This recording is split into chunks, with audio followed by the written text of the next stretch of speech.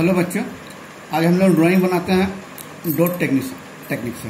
इसको स्टिपलिंग भी बोलते हैं स्टिपलिंग टेक्निक भी बोलते हैं।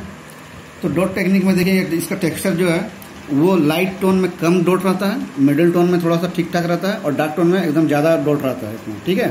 तो ये तीनों को हम लोग मेंटेन करते हुए इसको हम लोग ड्रॉ करना है, और इसको स्टेपलिंग करना है, ठीक है? जो लाइट एरिया में कम है, जो डार्क एरिया वहाँ पर थोड़ा सा ज़्यादा है, और मिडिल एरिया में थोड़ा सा ठीक ठाक है।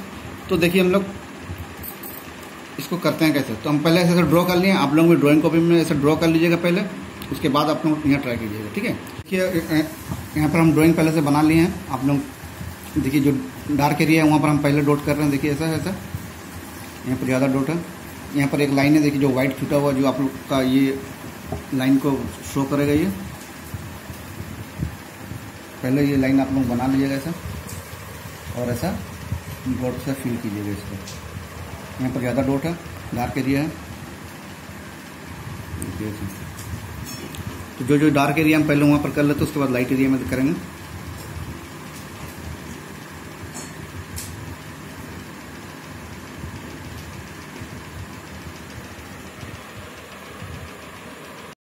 देखिए, अब हम डार्क एरिया में अपना कर लिए हैं स्टिपलिंग ठीक है?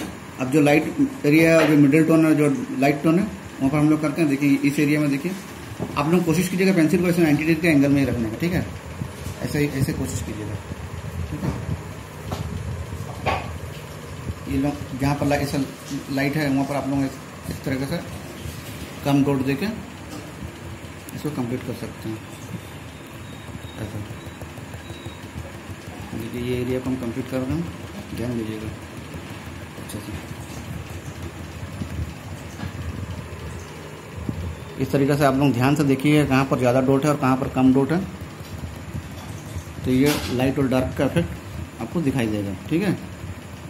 इसे करते हुए पूरा कंप्लीट कर लीजिएगा। उसके बाद देखिए ऑब्जेक्ट का भी शेड है। देखिए, यहाँ पर शेड है, देखिए। ये ये एरिया में देखिए शेड है। यहाँ पर डार्क शेड है। यहाँ पर डार्क टोन है, यहाँ पर ज़्यादा डोट होगा ऐसा ऐसा लाइन में।